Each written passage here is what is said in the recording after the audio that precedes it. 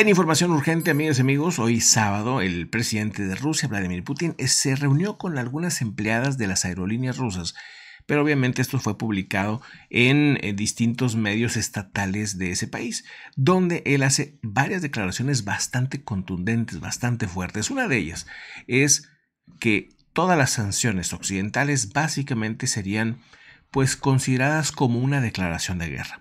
También otra situación importante es que si algún país excluye el espacio aéreo de Ucrania, también sería considerado como que ya entró al conflicto.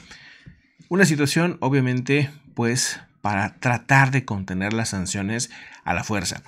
Una situación también que ya empieza a darse la próxima semana. Las sanciones, la mayoría de las, de las sanciones no han iniciado iniciarán la próxima semana. Recordar que esta semana, de lunes a viernes, la Bolsa de Valores de Rusia estuvo cerrada, simplemente. El rublo cayó, la Bolsa de Valores pues ni siquiera la quisieron abrir y la economía de Rusia está paralizada básicamente.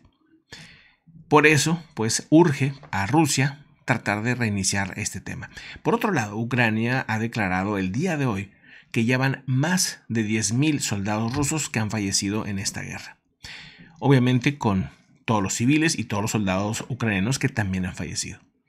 Un tema bastante contundente, bastante fuerte y que por cierto se tenía pensado para hoy hacer un corredor humanitario para distintas ciudades de Ucrania para poder sacar a los civiles, pero no fue posible ya que no se respetó el alto al fuego por parte de los rusos, es lo que dice el gobierno ucraniano.